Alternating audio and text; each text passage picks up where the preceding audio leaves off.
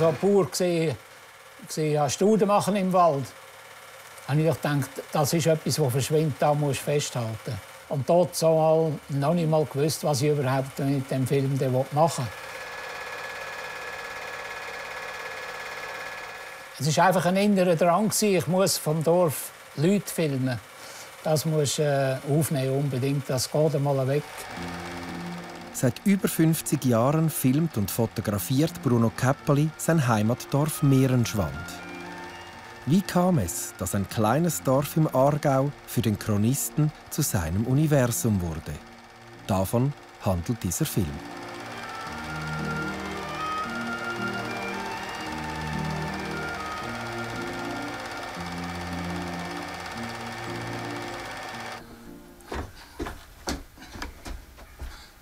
Kenne Bruno Käppeli schon sehr lange. Sein Sohn Samuel besuchte mit mir den Kindergarten. Da ist Musikverein, Verein Wickenbach, Bühne, Dorffilm. Also er ist sicher rum, aber äh, Samuel, der ist hier. Kindergarten, erste Klasse, 77, Sammy Klaus ist gekommen. Samuel. Gut, schauen wir uns den mal an. Halt. Das ist einmal jetzt 100.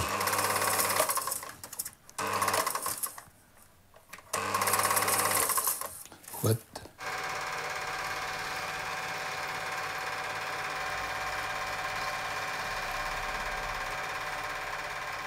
Es ist bald 40 Jahre her, dass ich im Ringelreihen um das Auto der Kindergärtnerin tanzte.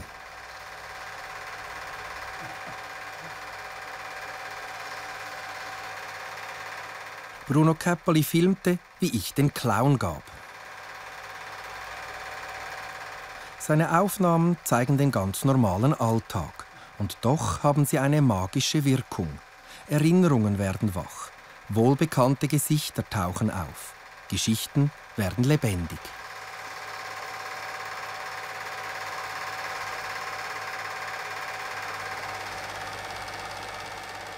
Bruno Käppeli und mich verbindet die Leidenschaft für das Filmen. Und doch könnten wir unterschiedlicher nicht sein. Ich reiste für das Schweizer Fernsehen um die ganze Welt, filmte das Exotische, das Unbekannte, das Abenteuer. Bruno Käppeli findet all seine Geschichten im Dorf, in dem er vor 77 Jahren zur Welt kam. Das fasziniert mich.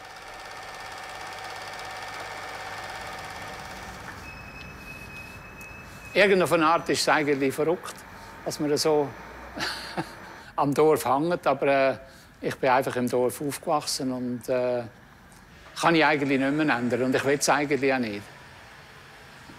Mir gefällt es hier. Und, äh, aber ich bin nicht stur, dass das Dorf so muss bleiben muss. Ich bin durchaus dafür. Also ein Dorfkern schon darf heute in der neuen Generation angepasst sein. Und das wird der Fall sein, oder?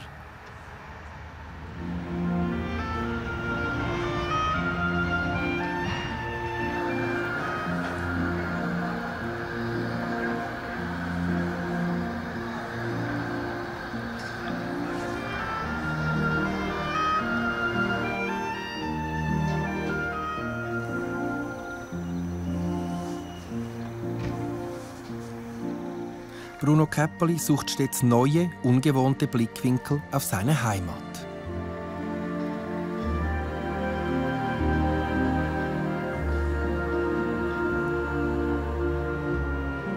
Als er zur Welt kam, lebten hier 125 Bauern. Heute findet man im Dorf keinen einzigen Miststock mehr. Dank der Nähe zu Autobahn und S-Bahn hat sich Mehrenschwand zu einer modernen Pendlergemeinde entwickelt. Hier im Zentrum gibt es natürlich eine gewaltige Änderung. Oder? Der ganze grosse Bau hier unten, das wird alles Boden haben. Volk. Und auch der Hirsche ist für uns natürlich auch etwas, das verloren geht. Was noch bleibt, sind einfach halt die Erinnerungen von dem Hirschen. Hier haben wir an Musik gemacht früher, vor 50 Jahren. Sein Haus hat Bruno Käppeli 1965 selber gebaut. Ein Jahr lang kaufte er Zementsäcke statt Filmrollen. Heute ärgert es ihn, dass das Baujahr die einzige Lücke in seinem Archiv ist. Das Fotografieren und die Filmerei blieben zeitlebens sein Hobby. Also Fotograf oder Film ist natürlich äh, damals ein chinesisches Dorf für mich. In der Gegend wäre da nichts zu machen also ich da eine Lehre machen. Dann musste ich einfach nach der Schule in die Seidenfabrik Stelien. Da bin ich ja Laufgummi dort, äh, ein Jahr lang. Aber dann war ich schon gleich, dass da nicht da sein kann, was ich fürs Leben machen will. Und da war dann irgendeine Stelle in der Nähe äh, eine Lehrstelle frei für Metalldrücker. Er blieb seinem Lehrbetrieb bis zur Pensionierung treu, 43 Jahre lang. Das ist aber ein Beruf geworden, den du gerne gemacht hast? Äh, mit der Zeit dann schon, oder? Klingt aber nicht gerade begeistert. Nein, also die ersten zehn Jahre, wenn ich mein, meine Hobby nicht hatte, hätte ich das nicht durchgestanden, oder? Ja, dann war das Filmen auch wie eine Flucht aus dem Alltag? Eigentlich schon. Wenn ich so Seriebücher gemacht habe, habe ich schon studiert, was könnte ich jetzt äh, wieder filmen oder äh, was, ja, eigentlich immer von dem träumt, oder? Bruno war das zweitjüngste von neun Kindern. Vater Anton arbeitete als Schnapsbrenner im Nachbardorf. Mutter Martha verdiente ein Zubrot als Hutmacherin oder wie man im Dorf sagte, als Hütlerin. Bruno Käppeli und seine Frau Susanne sind seit 46 Jahren verheiratet. Und wir zwei, ja, noch jung ja. und knackig. Jung und knackig, ja. so hat's. Das waren noch Zeiten. Ne? Ja, aber die ist der Hetz. Ja, das ist schön. Viel Zeit für Romantik blieb den frisch Verliebten nicht. Bruno Käppeli hatte drei kleine Buben mit in die Beziehung gebracht. Seine erste Frau war völlig überraschend an einer Hirnblutung gestorben. Gell, mit, mit 27, mit drei kleinen Kindern allein, oder? Wie war die, die Phase in deinem Leben? Ja, ich hatte eigentlich äh, mehr Verbarmen mit den Kindern, nicht mit mir. Äh, ja, ich meine, die sind, äh, wie gesagt, noch so klein gewesen. Und, äh, schon keine Mutter mehr? Schon keine Mutter mehr. Äh, für mich war einfach das Thema, gewesen, dass, dass ich gleich wieder jemanden muss haben muss. Das war natürlich äh, eigentlich nicht so einfach, gewesen, oder? Ja, ich konnte ja nicht können Tanz und eine Frau suchen, oder? Und dann habe ich halt äh, in einer katholischen Zeitung ein Inserat gemacht, oder? Äh, drei Kinder suche in der Mutter. Und äh, natürlich da x, x äh, Möglichkeiten hatte ich da gehabt, aber äh, ja, die richtige Frau verwünscht. In seiner Freizeit hat Bruno Käppeli über 300 Filme realisiert. Ich möchte eigentlich die alte, gute Zeit, die es eigentlich nie gegeben zeigen. Ich finde immer, äh, wenn man äh, die Vergangenheit nicht kennt, hat man auch Mühe mit der Zukunft. Und äh, es ist mir eigentlich gelungen, alle Handwerke so damals zu filmen, noch vor 50 Jahren, aber auf 8 mm natürlich.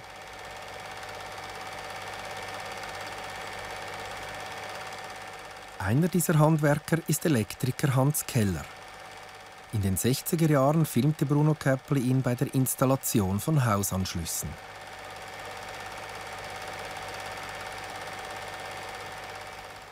Heute gehört Hans Keller zu den ältesten Meerenschwandern.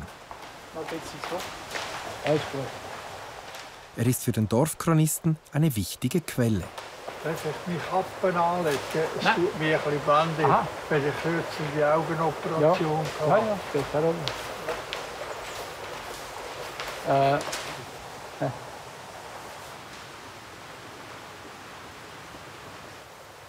Sorry, ich habe wieder bisschen zutun. Ja. 45 habe ich die Lehrabschlussprüfung gemacht als Elektromonteur. Ich habe noch nicht angefangen. Ist gut, der Ton ist für mich gut. So. Warte mal schnell. Jetzt ist gut. Ja. Eben 1945, wo dann der Krieg endlich einmal fertig gegangen ist, hatte ich eine Gelegenheit gehabt, die Lehrabschlussprüfung als Elektromonteur zu machen. Mit was haben Sie denn den Weg hinter unter die Füße genommen? Ja, man hat jemanden angestellt, vielleicht mit einem Fuhrwerk. Ja. Das sind einfach noch ganz andere Zeiten. Gewesen. Ja, gut einmal vorläufig. ja. Sehr gut, du hast das ganz gut gemacht. Ja. Also mal Hans. Bruno, alles Ich hoffe, Gute. Du äh, kannst noch Wir bleiben noch beieinander. Ja. Das ist ein Geschenk für Mary Schwand. Er, der so, so, so viele Jahre gefilmt hat, da wäre ein Haufen, Haufen Sachen verloren gegangen, wenn er ihn nicht hätte, wo das äh, schon jetzt Jahrzehnte lang.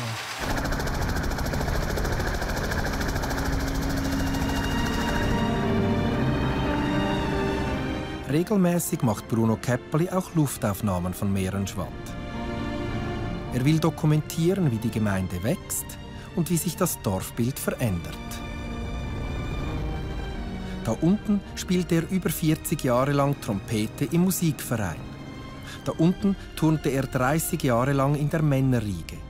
Sein Dorf hat er ein einziges Mal für längere Zeit verlassen, als er 17 Wochen lang die Rekrutenschule absolvierte.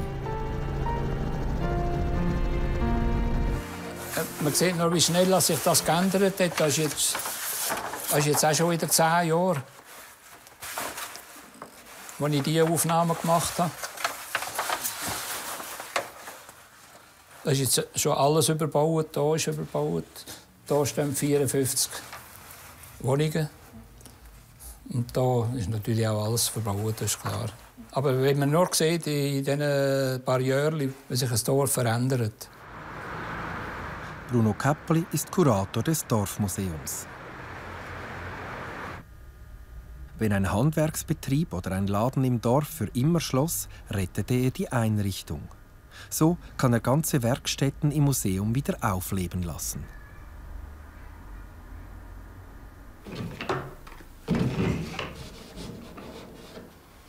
Momentan gestaltet er eine Sonderausstellung mit dem Titel Meerenschwand gestern, heute und morgen.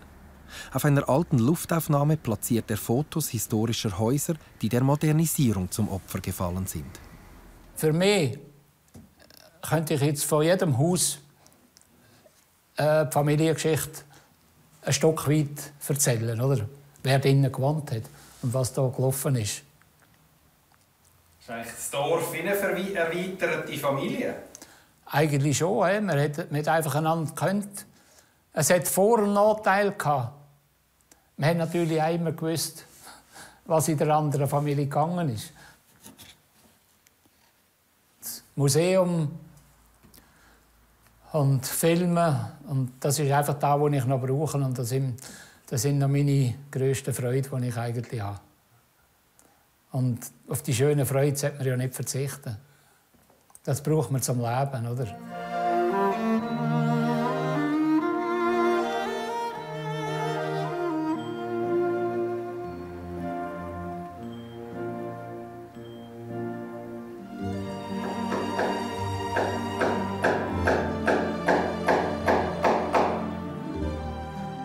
Käppelis Herz schlägt für das Meerenschwand seiner Kindheit. Ich spüre aber, wie er sich redlich bemüht, die schleichende Modernisierung zu akzeptieren. Schließlich gehören auch die Flachdachbauten zu seinem Dorf. In der aktuellen Ausstellung stellt sich der Nostalgiker diesem Wandel. Eine bewundernswerte Offenheit.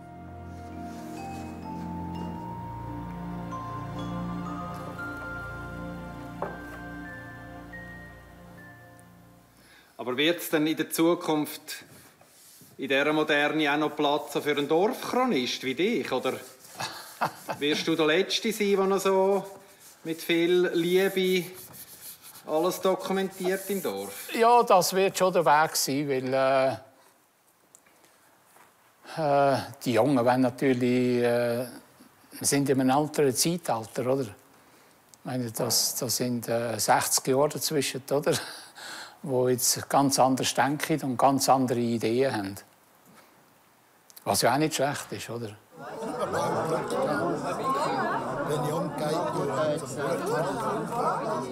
Auf diesen Tag hat Bruno Käpperli lange hingearbeitet. Heute ist die Eröffnung seiner neuen Ausstellung. Das ganze Dorf ist da. Die Stimmung erinnert an ein Familientreffen. Ja, Maria. Schön. Du altes Haus. Ja. Ich habe noch ein Foto gefunden von dir. Sicher? Ich habe ja einen Film gemacht von dir. Jetzt habe ich zu diesem Film aus noch ein Foto gemacht. Ja, Ja. ja. Das, ja.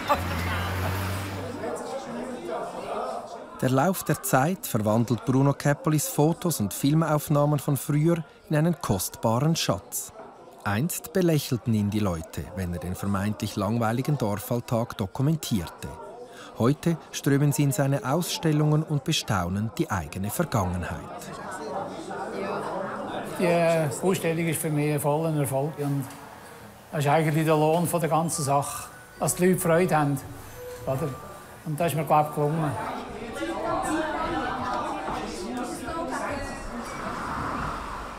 Die berühmteste Meerenschwanderin verpasste die Ausstellungseröffnung. Vor dem Dorfmuseum hat sie ihr eigenes Denkmal, gestaltet von Bruno Käpperli. Es erinnert an die Wahl von Doris Leuthard in den Bundesrat. Natürlich hat Bruno Käpperli auch sie gefilmt. Als Schülerin in der Primarschule und als fesche Tänzerin in der Frauenriege.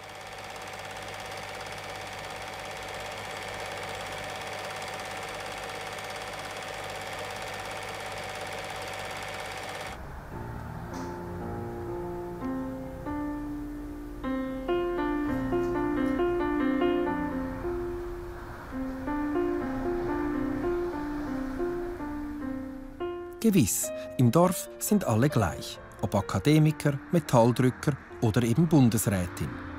Doch Bruno Käpperli ist ein zurückhaltender, bescheidener Mensch.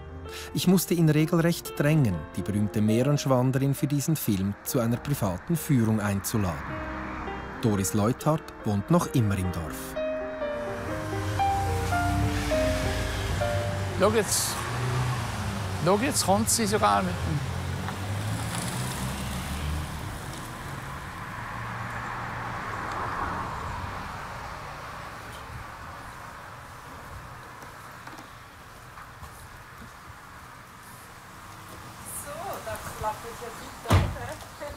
Doris, du bist ja schon ein Schatz, dass das geklappt hat. Ja, ja, für dich mache ich das. Hey, Super.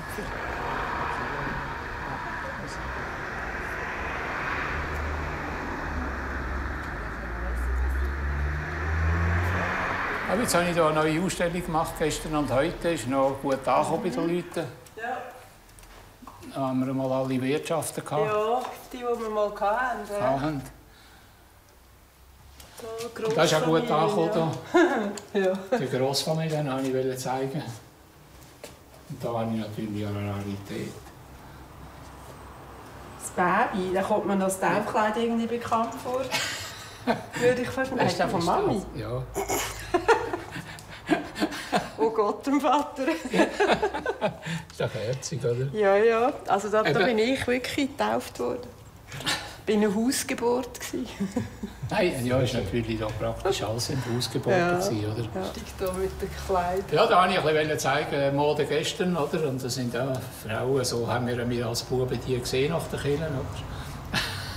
Ich habe vom Grossi auch noch einen Rock so aufbewahrt. Ja, Ja, auch natürlich eben schwarz mit weißen Knöpfen. Du hast ja nicht vorrühren, gell? Nein, nein, nein, nein, den, den habe ich, habe ich alles noch aufbewahrt. Was bedeutet der Einsatz von Bruno Käppeli für ein Dorf wie Merischwand? Ja, ich denke, es ist so ein, ein historisches Gedächtnis und, und Veränderung. Also, wie war es? Gewesen? Und ich denke, das ist auch, da wird einem bewusst, wie viel sich in 30, 40, 50 Jahren so ein Dorf verändert. Oder? Im Positiven wie im Schlechten. Das kann- kannst du nie nur gut sehen. Oder? Aber äh, ich glaube, das ist wertvoll, dass sich Menschen nicht mehr bewusst sind. Oder? Es ist nichts statisch. Und, äh, ja, nein, nein, da steht der Bruno Käppel in grossen Verdienst, oder? dass man das festhalten. Und, und eben nicht dann irgendwo in seiner Privatsammlung daheim, oder? sondern er hat das eigentlich immer zur Verfügung gestellt und, und, und immer wieder sein, sein Schaffen auch ja, Ja, ja. Ähm, so können die Leute begeistern. ja, die haben es natürlich immer wieder ein bisschen ausgebaut, oder? Wann haben Sie den Bruno Käppeli das erste Mal wahrgenommen als Dorfchronist? Was sind das für Erinnerungen? das war natürlich schon, schon in der Schule, oder? Eben von seinen Söhne, der älteste ist mit meinem, mit meinem jüngeren Bruder in die Schule. Ja. Und eigentlich das erste vielleicht die Weiber, die Altweibermühle. ähm, da, wir hatten, das war ein Theater in der, Ja. in der Schule. Ich weiss gar nicht, Schulauseinweihung. Schulauseinweihung, ja. Und, und, und dort, äh, dort, dort, ich bin als junges Mädchen, hatte ich dort eine Rolle. Gehabt. Und dort waren wir natürlich schon furchtbar stolz, gewesen, dass wir dann in einem Theater mitmachen Ja. Und dort ist, ist mir das nicht bewusst, ah, da filmen einen. Und von da weg hat man da eigentlich dann immer ein bisschen verfolgt. oder?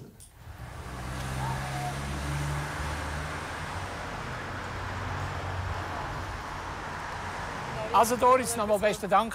Bruno, danke vielmals. Ein Gruß Schöne- der Susanne Ja, hä? ein schöner, und gell? eine gute Zeit. Ja.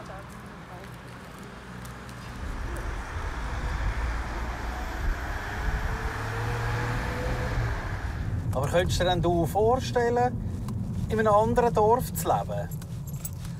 Ja, eigentlich nicht. Ich sehe nicht an, wenn ich gehe, gehe reisen, oder? Nach einer, äh, nach einer Woche muss ich wieder heim. Ich muss einfach immer wieder ins Dorf zurück. Das ist eigentlich Blödsinn. Ich bin in dem Sinn vom Dorf nicht abknabbelt. wenn man es so kann sagen Sein Dorf, das ihn jetzt sogar zum Ehrenbürger ernannt hat.